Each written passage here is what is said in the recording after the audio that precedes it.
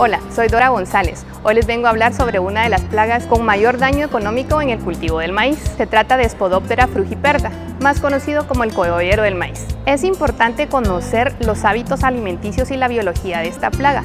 También identificarlo en campo para un mejor manejo y control. El gusano cogollero se desarrolla en cuatro etapas, huevo, larva, pupa y adulto.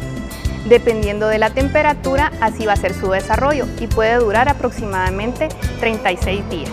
Cabe mencionar que un adulto hembra puede ovipositar hasta 900 huevos. Esto implica que en tres días estos se convierten en larvas. La larva es la fase más dañina del insecto. Puede dañar tallos, hojas, mazorca y espigas. Los principales daños que puede causar son, como trozador, corto de la plántula de maíz a nivel del suelo.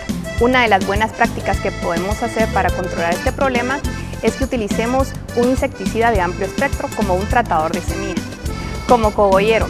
En esta etapa la larva está bastante más desarrollada, puede llegar a provocar la defoliación de la planta.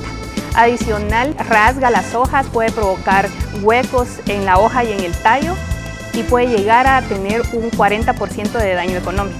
Como barrenador, este puede afectar a las plántulas pequeñas, afectando los tallos principalmente y pueden provocar el síndrome de corazón muerto. Y como el otero, afecta a los estigmas, que son los pelos absorbentes de las mazorcas, y los granos. Es importante que manejemos la plaga en la fase de larva en los primeros estadios y podemos utilizar insecticidas a base de emamectin benzoato. Tomemos en cuenta estas recomendaciones para evitar y disminuir el desarrollo de la plaga. Hay que realizar rotación de cultivos, manejar las malezas.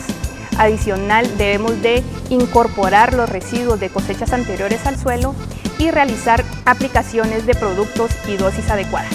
Gracias por acompañarnos hoy en esta cápsula técnica. Nos vemos a la próxima.